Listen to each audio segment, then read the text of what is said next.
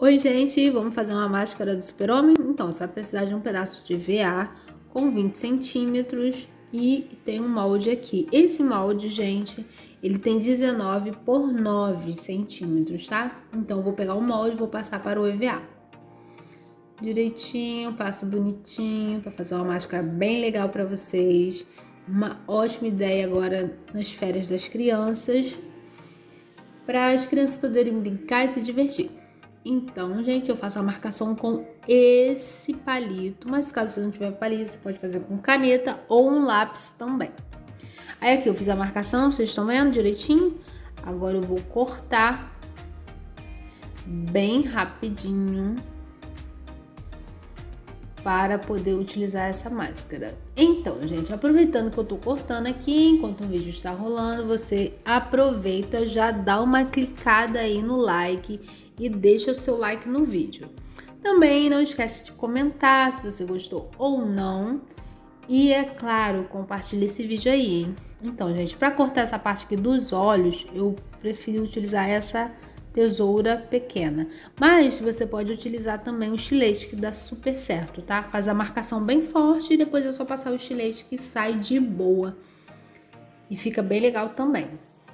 Mas aí, como eu tenho essa tesourinha aqui, eu tenho estilete, mas eu prefiro cortar com a tesourinha, que é melhor. Com a tesoura grande você também consegue, mas só que tem que ser bem devagarzinho, senão pode dar algum erro. Aí, gente, eu cortei aqui, ó, bem legalzinho, bem direitinho. Aí agora, olha aqui pra vocês verem, ficou bem direitinho, bem legal. Vou deixar ela aqui então, gente, agora eu vou fazer um escudo aqui para vocês. Peguei um pedaço de EVA. Esse escudo aqui tem 6 por 5 centímetros, tá? Fiz a marcação aqui bem direitinho e agora eu vou cortar. Gente, para esse, para fazer esse escudo aqui, na verdade são dois escudos. Esse tem 6 por 5 e vou fazer um outro vermelho 6,5 por 5, 5,5. E fiz esse Szinho aqui também para colar. E, gente, o molde vai estar na descrição do vídeo com o tamanho certinho, com a medida certinho, com o desenho certinho para vocês. Então, fique ligado aqui na descrição do vídeo. No final do vídeo é só ir lá, clicar no meu blog. Mas eu vou deixar também no primeiro comentário o link do molde, tá bom? Para vocês poderem olhar e fazer. Aí, gente, olha só como ficou. Eu vou cortar, tá?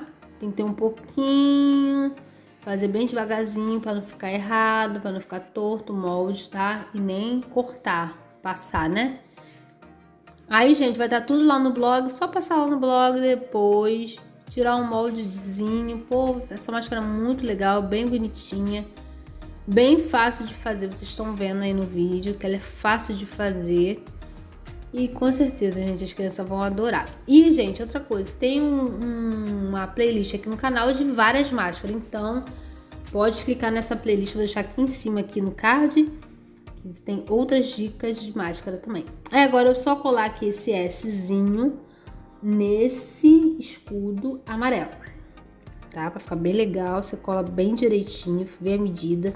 Vocês viram que o S ficou um pouquinho maior do que o escudo. Mas não tem problema, eu fiz um pouquinho maior mesmo para poder cortar depois. Porque para não ficar bem rentezinho e dar errado, é melhor fazer um pouquinho maior e cortar depois. Ó, vocês estão vendo aí que eu tô cortando, ó. Cortei só o vermelho, tá, gente?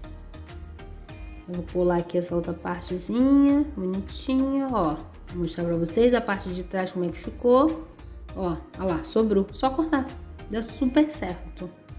Olha que ficou direito. Aí agora, gente, Vou colar o escudo amarelo no escudo vermelho sobre, né? Ó. Cara, dá um, um, fica um 3D praticamente. Fica bem bonito, ó. E bem facilzinho de fazer também. Qualquer criança também pode fazer, tá, gente? Aperta um pouquinho pra cola pegar num...